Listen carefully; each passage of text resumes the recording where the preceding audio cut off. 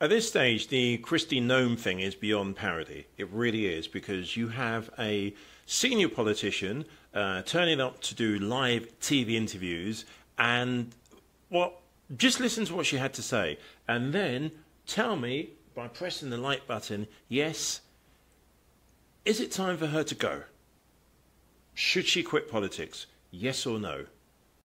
Person. Um, let's talk first, but we don't want to talk about a lot of sure. the topics that you address in the book. But yeah. the book is called No Going Back, but it mm. sounds like the publisher Center Street is going back on a couple of the details in the book. Oh, I don't believe so. Specifically, when you write in the book, I remember when I met with North, North Korean dictator Kim Jong Un. I'm sure he underestimated me. That, as I understand, is now being removed from the book at your request. Yes, when correct? I became aware of that, we changed the content, and uh, the future editions will be adjusted. And, uh, you know, I appreciate that. I've met with many, many world leaders. I've traveled around the world. Uh, I should not have put that anecdote in the book, and uh, at my request, they have that removed specific it. How, meeting didn't happen? How, I'm saying that I'm not talking about that meeting. I'm not talking about my meetings with world leaders. But uh, you there's do some talk that about are in meetings the book. with world leaders. There's some that are in the book, and then there's some that's not in the book. Many but why of them, are there actually, two specific and... mentions of meeting Kim Jong Un and talking about him, and a specific memory? I'm sure he underestimated me, having no clue about my experience staring down little tyrants. Did you tell your ghostwriter to you write know, that? I'm, I specifically have worked on policy for over 30 years. And over that time, I have traveled around the world and I have met with leaders around the world. Uh, and, and that anecdote, I've asked them to change the content and, and it will be removed. It's a simple question. Did you or did you not that's, meet with Kim that's, Jong-un? That's the answer that I have for you is that I'm, it will be adjusted. And as soon as I became aware of it, that content. Talk about meeting some world leaders and one specific one. Quote, I remember when I met with North Korean dictator Kim Jong-un, I'm sure he underestimated me, having no clue about my experience staring down little tyrants. I've been a children's pastor after all. Did you meet Kim Jong un? Well, you know, as soon as this was brought to my attention, um, I certainly uh, made some changes and looked at uh, this this passage. And I've met with many, many world leaders. Uh, I've traveled around the world. Uh, as soon as it was brought to my attention, uh, we went forward and have made some edits. So I'm glad that this book is being released in a couple of days, and that those edits will be in place, and that people will will have the updated version. So you did not meet with Kim Jong Un. That's what you're saying know, I've met with many, many world leaders, many world leaders. I've traveled around the world. I think I've talked extensively in this book about my time serving in Congress, my time as governor, before governor, some of the travels that I've had. Um, I'm not going to talk about my specific meetings with world leaders. I'm just not going to do that. Uh, this anecdote shouldn't have been in the book, and as soon as it was brought to my attention, uh, I made sure that that was adjusted. So, so you did not meet with Kim Jong Un. That's what you're saying.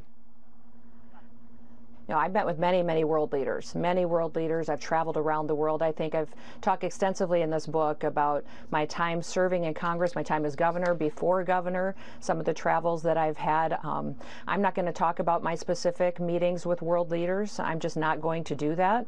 Uh, this anecdote shouldn't have been in the book, and as soon as it was brought to my attention, uh, I made sure that that was adjusted. So uh, the book is not released until Tuesday, and so yeah. we're doing all that we can to make sure that those changes changes are made, and I'm going to continue to focus on what this book is and the blueprint that it lays out for the American citizen on all of the, the things in the background and, and stories of my life, but also uh, what I think that needs to be identified in politics and what's broken today. I talk about how broken the money yeah. game is, how broken it is that, that we've got consultants that are getting rich off of elected officials, and then how fake some elected politicians are.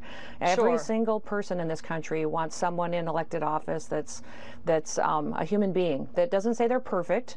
Uh, I take responsibility for that being in the book, and as soon as it was brought to my attention, uh, I asked for it to be changed. So I'm glad that the release date is in a couple of days, and we're excited to talk to America about uh, my new book, No Going Back. So, I mean, Chris, these are horrible people. They they're they're just awful. Their nihilism and their bloodlust is pathological at this point because really the cruelty is the point in MAGA right? And this is a perfect example of that. I mean, Kristi Noem can make any excuse she wants. She can try and walk it back all she wants or blame it on the fake news media all she wants or blame it on her ghostwriter or the editors or the publishers. But no, she made the choice to put this in her book, a book that she has already audio voice. There's an audio version of it. So she was well aware of what was all in it. And she just made the decision to brag about being a puppy executioner. It's sadistic. And she's out here trying to be a political clout chaser, basically trying to curry favor with Donald Trump in some weird, sadistic way because he's a horrible, indecent person. So she's bragging about a hor- being a horrible, indecent person who will do the hard things by shooting her puppy in a gravel pit. I, this is just a perfect example of MAGA. And frankly, I hope that MAGA's ilk is thrown into the gravel pit of history after November uh, November this year because that's where it belongs. It's sickening.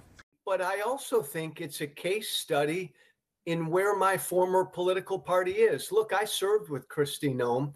Uh, she wasn't this way eight, nine, ten years ago. Every one of my former Republican colleagues, Jessica, has learned to be like Trump, to be cruel, uh, to lie, to never uh, ever apologize, to never back down. She she's trying to be like Trump. Uh, if I shoot my dog, if I say that Biden's dog should be shot, uh, that's a really tough, cruel thing to say, and that's what Trump says, and that's what the Republican voters want to hear.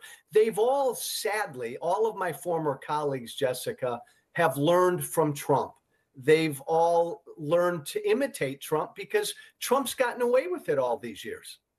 Kristi Noem is an example. When she got in the bottom of this hole, she didn't just keep digging. She ordered high powered drilling equipment to keep digging further.